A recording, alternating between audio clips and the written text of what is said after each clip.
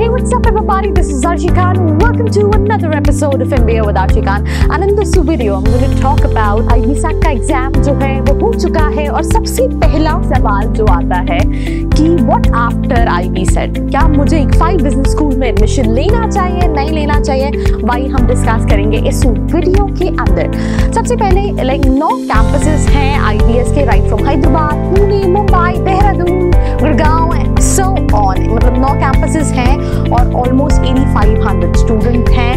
54,000 के आसपास alumni network है which what says about this institution सबसे पहली चीज़ कि इनके कई सारे कैंपसेस हैं, आपने एग्ज़ाम दे दिया है, फिर इनका लाइक जीडीपीआई होता है, जो ऑन कैंपस होता है, इस बार हो सकता है कोविड के वजह से यू नो सिर्फ़ पर्सनल इंटरव्यू राउंड हो, जो कि ऑनलाइन हो। अदरवाइज़ अगर हम हर साल की बात करें तो आपको कैंपस पे जाना पड़ता है, आपका पीआई होता है और वो सारे स्टूडेंट्स को कॉल आता है। और उनकी पीआई के बेसिस पे उनको सिलेक्ट किया जाता है कि वो कौन से कैंपस के अंदर सिलेक्ट होंगे। अगर आप अच्छे हैं तो हो सकता है आपको हैदराबाद के लिए सिलेक्ट कर लिया जाए देन उनका सेकंड जो नोन कैंपस है दैट इज़ मुंबई के लिए सिलेक्ट कर लिया जाए। एंड देन फिर ऐसे ही आपकी परफॉर्मेंस की बेसिस पे आपको स्कोर मिलता है। मतलब ना किसी को नहीं किया जाता है बस कैंपसेस जो हैं, वो वेरी कर जाते हैं। तो सबसे पहली चीज़ कि आपको कौन सा कैंपस मिलेगा और उस कैंपस के प्रॉज एंड कॉन्स बहुत इंपॉर्टेंट है, आपको समझना। इनटेक ऑन अ हायर है, अगर आप इनकी किसी भी कैंपस की बात करें तो जिसकी कहीं ना कहीं डिमांड है राइट और इनटेक ज़्यादा है तो कंपटीशन ज़्यादा होगा। थोड़ा सा एवरेज स्टूडेंट इस केस में सफ़र करता है।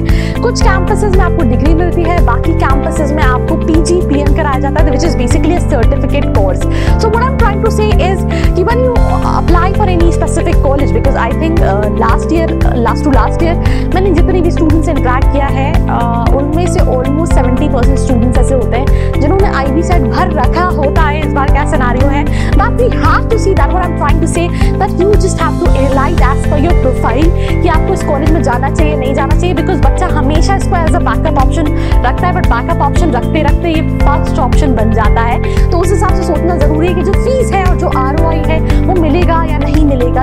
जो है, उसका कितना इम्पैक्ट पड़ता है? पढ़ाई पे प्लेसमेंट पे कितना कंपटीशन पड़ता है?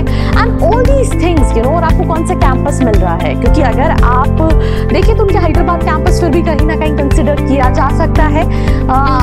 फ़ीस 14 लाख के आसपास रहती है 1995 का स्टैब्लिश है। वेल इज़ मुंबई की डिमांड जो है, वो सेकंड पोजीशन पे रहती है, क्योंकि मुंबई जैसी लोकेशन जो कि सिलिकॉन वैली जो इकोनॉमिक कैपिटल कहलाता है, मैं सिलिकॉन वैली कह रही हूँ, जो कि इकोनॉमिक कैपिटल कहलाता है इंडिया की तो उसकी डिमांड सेकंड प्रेफरेंस पर रहती है पुणे की रहती है बट अगेन मैंने बहुत सारी जगह ये स्टूडेंट से रिव्यू सुने हैं कि ऐसा नहीं है प्लेसमेंट नहीं होता है बट जो टॉप के स्टूडेंट्स होते हैं, उनका प्लेसमेंट हो जाता है कि बात साइज़ ज़्यादा होता है एंड देन जैसे आप टॉप 200 से टॉप 300 टॉप 400 तो पैकेजेस जो हैं, वो बहुत ज़्यादा सफ़र करते हैं। तो दैट आई सेइंग अगर आपको कोई भी हेल्प चाहिए इन टर्म्स ऑफ़ कि आपका एग्ज़ाम कैसे गया है, उसके अलावा आप कौन से कॉलेजेस को ले सकते हैं? आपको आपकी प्रोफ़ाइल के हिसाब से आईबीएस के अंदर जाना चाहिए, नहीं जाना चाहिए?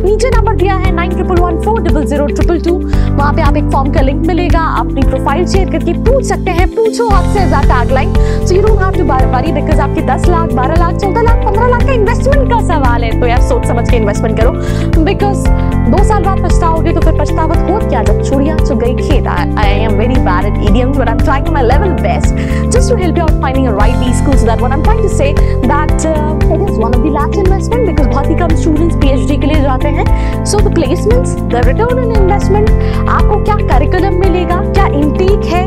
कैसे फैकल्टीज है? क्या एक्सपोजर है? ये सारी चीज़ों का एनालिसिस करना है। और लिस्ट में कौन कौन से कॉलेजेस हैं और उसको किस पोजीशन पे रखना चाहिए, ये सोचने की ज़रूरत है। कई सारे स्टूडेंट्स कहेंगे, एक फाइव जो आई एस हैदराबाद है, वो एन की रैंकिंग में टॉप फिफ्टी कॉलेजेस के अंदर आता देयर सो मेनी पैरामीटर्स जिसपे एनआईआरएफ रैंकिंग देता है।